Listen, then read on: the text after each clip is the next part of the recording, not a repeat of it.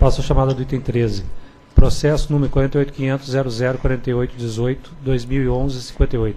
Resultados da audiência pública número 80-2011, que teve como objetivo colher subsídios à proposta de regulamentação do encargo de conexão e adequações na tarifa de uso dos sistemas de distribuição TUSD das unidades consumidoras do subgrupo A1. Relator, diretor André Pepitone da Nóbrega. A Resolução Normativa 116 de 2005 estabeleceu os critérios para a definição da tarifa de uso do sistema de distribuição TUSD e do encargo de conexão aplicados à unidade consumidoras do subgrupo A1. Desde 2005, a ANEL vem calculando o encargo de conexão para essas unidades consumidoras sem a normatização dos critérios adotados no cálculo. A Resolução Normativa 435 de 2011 instituiu a estrutura dos procedimentos de regulação tarifário, PRORET, que consolida a regulamentação acerca dos processos tarifários, no qual foi definido o submódulo 6.3, encargos de conexão A1, do módulo 6, demais procedimentos. A Resolução Normativa 464, de novembro de 2011, aprovou o módulo 7, estrutura tarifária das concessionárias de distribuição do PRORET. No item 8 do submódulo 7.3, intitulado Tarifas de Aplicação, é definido o tratamento a ser dado às unidades consumidoras do subgrupo A1 nos termos da Resolução 166 de 2005. Os parágrafos 41 e 42 do submódulo 7.3 do PRORET definem a composição do encargo de conexão e que o mesmo será apurado pela ANEL conforme módulo 6 do PRORET. Os parágrafos 43 e 44 estabelecem a composição do, de custos da TUSD. A nota técnica 72-2011, a nota técnica conjunta da SRD e da SRE, apresenta a proposta de metodologia para a determinação do encargo de conexão das unidades consumidoras do subgrupo A1, que celebrado o contrato de conexão às instalações de distribuição, CCD, e de ajuste na composição da TURG das unidades consumidoras do subgrupo A1. Em 22 de dezembro de 2011, foi instaurada a audiência pública 80 na modalidade intercâmbio documental com o objetivo de obter contribuições à proposta de regulamentação do encargo de conexão e de adequações na tarifa de uso do sistema de distribuição, a TURG, das unidades consumidoras do subgrupo A1. Na terceira reunião pública ordinária da diretoria, realizada em 31 de janeiro de 2012, este colegiado acatou o pleito da Associação Brasileira dos Investidores em Autoprodução de Energia, ABIAP, e também da Associação Brasileira de Grandes Consumidores Industriais de Energia e de Consumidores Livres, a ABRACE, para alteração da data de encerramento da audiência pública, postergando-a para 2 de março de 2012.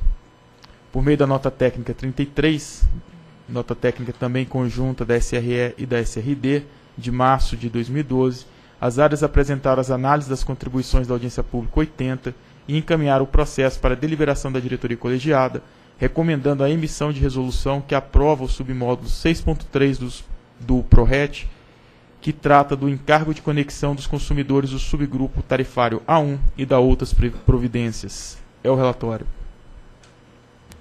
Procuradoria. A discussão nos autos é eminentemente técnica e, por essa razão, não houve pedido de parecer por parte do relator. A proposta constante, constante da nota técnica 72, descrita no voto que fundamentou a abertura da audiência pública 80, busca alcançar de forma equilibrada, justa e sem afastar o princípio da simplicidade o tratamento isonômico no tocante ao uso do fio entre os consumidores cativos e livres, a melhor convergência tarifária possível na fronteira entre os ambientes de transmissão e distribuição e a eficiência na alocação de custos.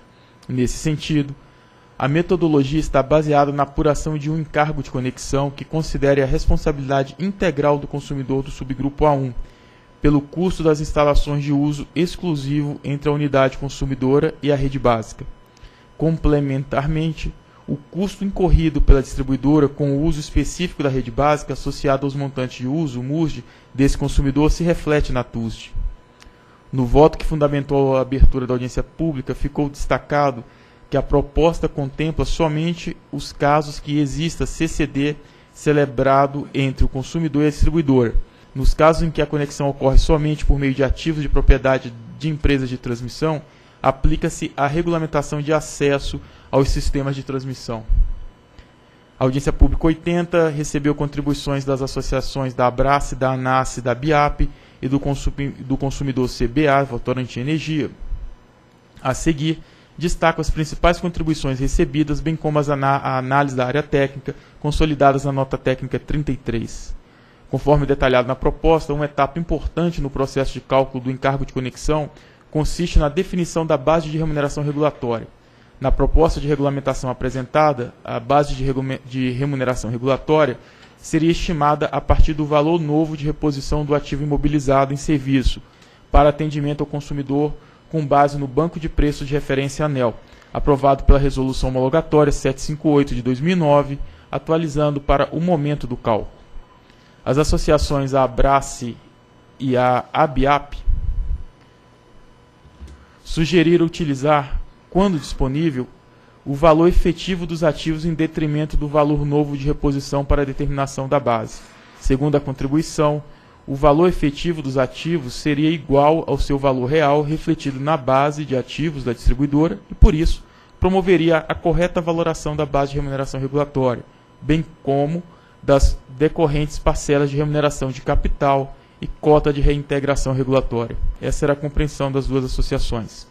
A esse respeito, as áreas técnicas destacaram que o nível de segregação do laudo de avaliação de ativos não permite a identificação pontual dos ativos utilizados exclusivamente pelo consumidor A1. O valor do ativo é refletido na base da distribuidora está associado a um custo regulatório, não sendo este necessariamente igual ao seu custo efetivo. Diante desses dois argumentos, recomendaram a manutenção da proposta submetida à audiência pública, pelo fato desta guardar maior coerência com a forma de determinação da base de remuneração das distribuidoras. A Abrace e a BIAP sugeriram ainda desconsiderar a componente referente às perdas técnicas no cálculo da TUSD dos consumidores do subgrupo A1. Os principais argumentos motivando essa supressão seria o baixo nível de perdas associado ao atendimento desses consumidores, bem como as dificuldades em, de, em determinados casos para sua quantificação.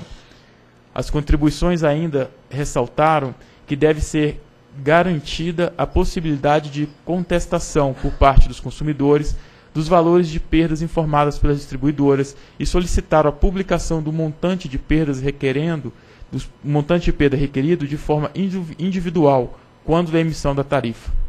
Sobre o tema, a ANAS entende que a implantação de um sistema de medição na fronteira da rede básica para apurar as perdas técnicas pela diferença entre esta medição e a medição nas instalações do consumidor pode, dependendo do caso, ser economicamente inviável, uma vez que as perdas técnicas podem ser irrisórias frente ao custo de implantação da medição, que dependendo do caso é elevado.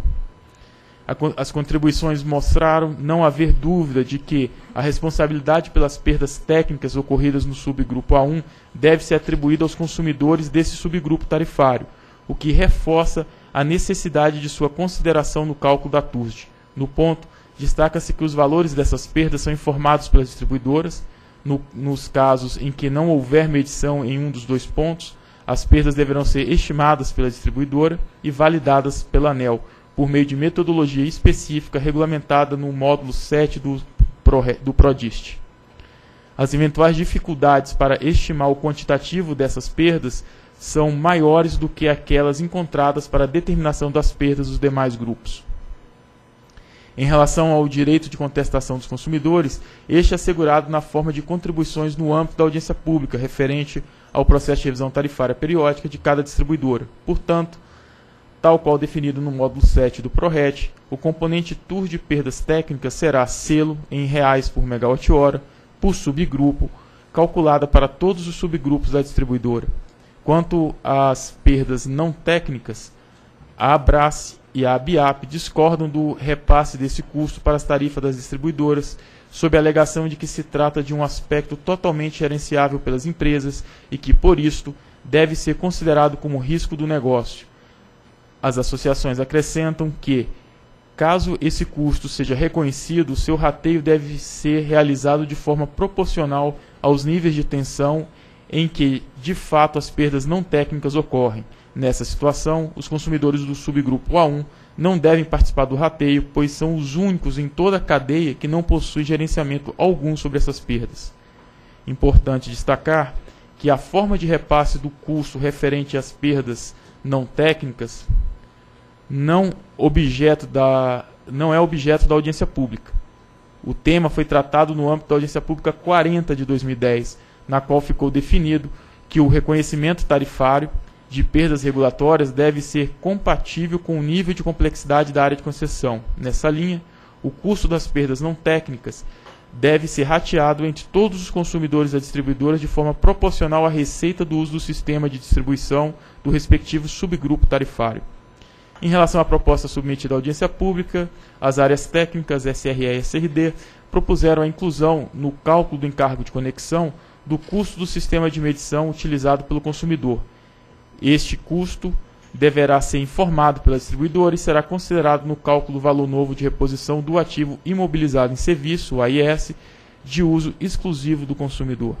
Por fim, destaco que, além da inclusão dos, do custo do sistema de medição, o resultado da análise das contribuições recebidas não implicou em alterações na proposta para a regulamentação da metodologia de cálculo do encargo de conexão e de adequações na TURG dos consumidores do subgrupo A1 submetida à audiência pública 80, descrita no voto que fundamentou sua abertura. Logo fundado nesse exame, nas considerações efetuadas no processo 48.500.0048.18.2011, dígito 58, voto pela emissão de resolução normativa, como a minuta anexa, que aprova os procedimentos de regulação tarifária, o PRORET, referente ao submódulo 6.3 encargos de conexão A1, que estabelece os procedimentos de cálculo do encargo de conexão das unidades do subgrupo A1 que possuem contrato de conexão às instalações de distribuição CCD e de adequações na tarifa de uso do sistema de distribuição das unidades consumidoras do subgrupo A1, de que trata a resolução normativa 435 de 2011. É o voto. Ok, em discussão. Em votação. Voto com o relator. Também voto com o relator. Também voto com o relator. Decidir pela emissão de resolução que aprova os procedimentos de regulação tarifária referente ao submódulo 6.3, encargos de conexão A1, que estabelece procedimento de cálculo de encargo de conexões das unidades do grupo, subgrupo A1, que possui contrato de conexão, instalações de distribuição e das adequações da tarifa de uso do sistema de distribuição das unidades consumidoras desse mesmo subgrupo, que trata a resolução normativa 435 de 24 de maio de 2011.